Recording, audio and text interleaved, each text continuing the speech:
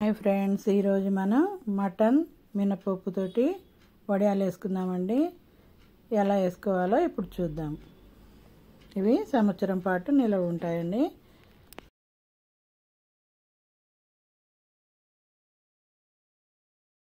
ఒక కప్పు మినపప్పు ఒక పావు కిలో మటన్ తీసుకున్నానండి. ఇవి రెండు ఇప్పుడు కలిపి ఎలా చేయాలో చూపిస్తాను. మటన్ కడిగి శుభ్రంగా మెత్తటి ముక్కలు తీసుకున్నానండి. అవి కడిగి వాడి పసుపు ఉప్పు కలిపి పక్కన పెట్టుకున్నాను. మినపప్పు మూడు గంటల పాటు నానబెట్టుకొని అవి కూడా కడిగి పక్కన పెట్టుకున్నాను. ఇప్పుడు ఈ మటన్ని ఇలా మిక్సీలో వేసి మెత్తగా నూరుకోవాలండి.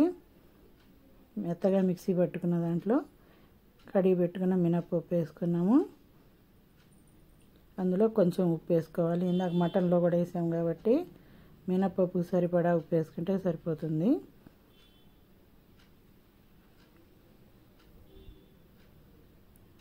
అల్లం మిరపకాయలు అవి కూడా కడిగి శుభ్రం చేసుకొని వేసుకోవాలి. రుబ్బుకున్న తర్వాత ఒక స్పూను జీలకర్ర కూడా వేసి బాగా కలుపుకొని ఇలా వస్తుందండి పిండి. ఇలా చేసుకొని పక్కన పెట్టుకొని ఇప్పుడు పల్చటి ఒక ప్లాస్టిక్ కాగితం తీసుకొని ప్లాస్టిక్ పేపర్ ఒకటి తీసుకొని ఇలా ప్లేట్ మీద పెట్టి చిన్న చిన్న ఉండలుగా వేసుకోవాలండి.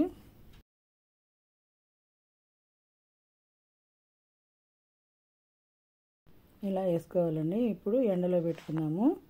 ఒక మూడు రోజుల్లో ఎండిపోతాయి బాగా ఆరిపోతాయి. ఇలా వచ్చిన తర్వాత ఏదైనా సీసాలో వేసుకొని భద్రపరుచుకుందాము. ఫ్రిడ్జ్లో పెట్టుకుంటే చాలా రోజులు వస్తాయండి. ఒక సంవత్సరం పాటు గ్యారంటీగా వస్తాయి ఇట్లా తయారు చేసుకొని జాగ్రత్త చేసుకుంటే. ఇలా వచ్చిన వాటిని ఒక బాండీ పెట్టుకొని కొద్దిగా ఆయిల్ వేసుకొని ఇలా వేపుకుంటే ఎంతో రుచికరమైన వడియాలు ఎంతో బాగుంటాయండి రుచిగా కూడా ఉంటాయి. కరకరలాడుతూ ఎంతో రుచిగా ఉంటాయి. ఏదైనా పప్పుచారులో కానీ ఏదైనా కూరలో ఏ దేంట్లో అయినా నంచుకోవచ్చండి. ఎంతో రుచికరమైన వడియాలు రెడీ. రెడీ టు ఈ